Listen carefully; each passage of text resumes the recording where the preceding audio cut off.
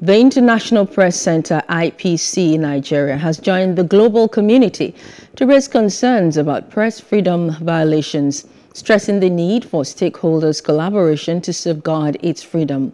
The IPC, which made the call in a statement by its communications officer, Olutoyin Ayoade, to mark the 2022 World Press Freedom Day, urged the federal government to respect its commitment and uphold the right to freedom of expression as enshrined in Article 19 of the Universal Declaration of Human Rights and the African Charter on Peoples and Human Rights. The organization stated that since 2020, it had identified over 100 journalists and other media professionals who had been victims of surveillance, spying, harassment, threats, violence, assaults, battery, unlawful arrests, jailing, kidnappings, and suspected murder. We are now being joined by NUJ Chairman, Lagos Chapter, Adeleye Ajayi. Glad to have you, Mr. Ajayi. Good evening. Good evening. Thank you. Now, let's evaluate press freedom, especially here in Nigeria. Can we say that we are there yet?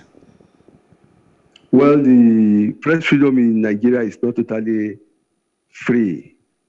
And uh, we are not yet there. It's not yet Uhuru when we talk about press freedom in Nigeria.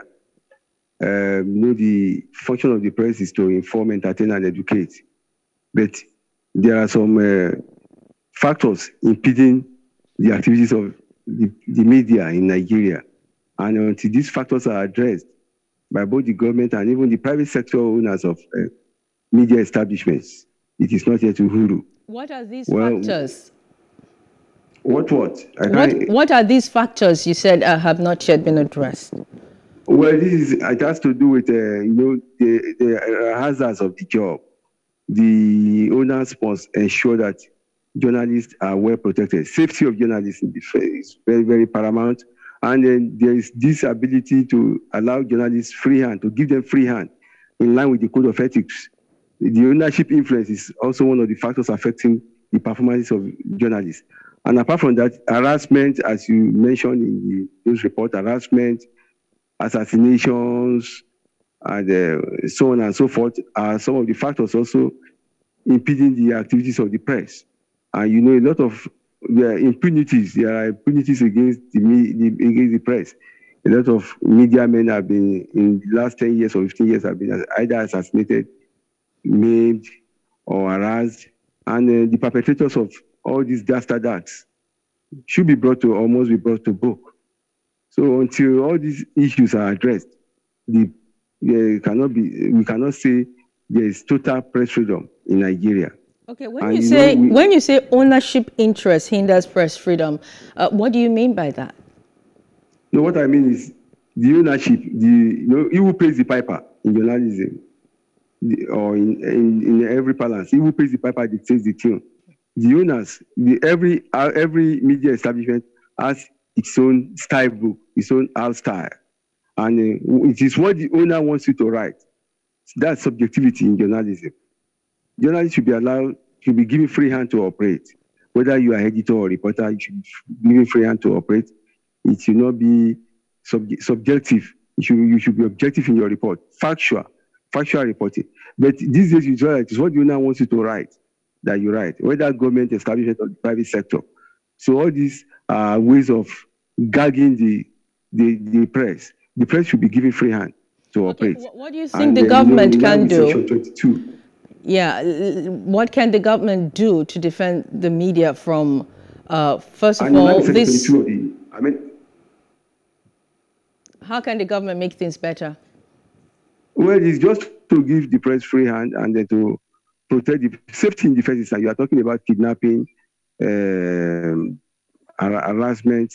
You know, you discover that, um, for instance, recently or in the last last year, throughout it was a it was a battle between the MPO, that is Nigerian Nigerian uh, newspaper press association of Nigeria, Nigerian Union of Journalists, and Nigerian Guild of Editors against the, against two bills two, bills that are that strayed into the National Assembly for amendment, the Nigerian Press Council Bill and the National Broadcasting Commission Bill. We the, those two bills have been suspended. For, amendment bills have been suspended for now, but until government listens to the media or the government allows the media free hand to operate, then we can't say we have total press freedom in Nigeria. Well, there are journalists that have lost their lives, you know, in the exercise of their profession. How best, how best can they be immortalized? Well, well, you will recall that uh, Chris Imodibie, the late Chris Imodibie, Tayo Awotusin were victims of the Liberian War. And Champion then, when Champion was vibrant, they named the library after Tayo Awotusin. They named it Tayo Awotusin Library. And I think uh, the champion is, uh, though I don't know, champion is is trying to re- recuperate again, champion newspapers. But I think other media houses should should do so. Should do so. Apart from media houses, we on our part as NUJ, we will follow suit. We will follow you because this this is just a, a, a pointer now that we need to emulate. I mean, to immortalize. Sorry, to immortalize our heroes those who lost their lives in the course of duties. We have a number of them. If I start mentioning them, we won't we won't live here today. So I think we should immortalize them because these are heroes. They were either assassinated, they were either harassed. Both those harassed, those assassinated, we will immortalize them as you have said. And that is a very good initiative that we have to we have to work upon work upon and at the NUJ level. It's a pity, as I said, that all these things happen and uh, well, thank you. Employ the government or perpetrators of those dastard acts. I've said earlier on, the person must be brought to book. They should, if, if, if not, the, the, the thing, the, if not, it, such dastard acts will continue. We want them to bring perpetrators to book. They are not, they, they cannot be let free like that. Those killings cannot be swept under the carpet. Well, thank you so much, Mr. Dele Ajayi, NUJ Chairman, Lagos Chapter. Thank you for your time. Please do subscribe to our YouTube channel and don't forget to hit the notification button so you get notified about fresh news updates.